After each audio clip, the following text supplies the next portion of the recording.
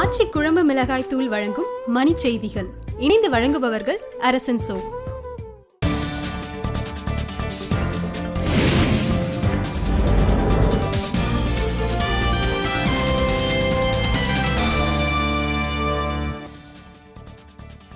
காவிரி பாசன மாவட்டங்களில் மீத்தேன் வாயு எடுப்பதற்கு தடை விதிக்க பசுமை தீர்ப்பாயம் மறுப்பு.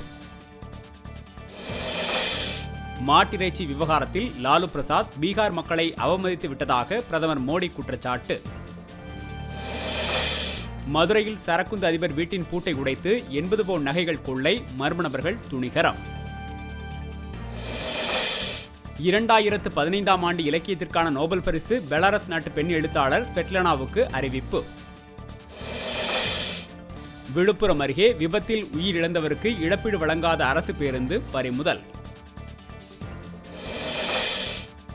நாகர்கோவிலில் பள்ளி கல்லூரி மாணவிகளுக்கு போதைப்பொருள் விற்பனை செய்த மூன்று பேர் கைது. வேலூர் சதுப்பேரி பகுதியின் சுற்றுச்சூழல் குறித்து அறிக்கை தாக்கல் செய்ய மாசு கட்டுப்பாட்டு வாரியத்திற்கு ஆணை. மூணாறு தேயிலை தொழிலாளர்களின் ஊதிய உயர்வு பேச்சுவார்த்தை தோல்வி கடையடைப்பால் காவல்துறை குவிப்பு. திண்டிவனத்தை அடுத்த உலக்கூர் சரஸ்வதி கல்லூரியில் தூய்மை நாள் கடைபிடிப்பு மாணவர்கள் ஆர்வம்.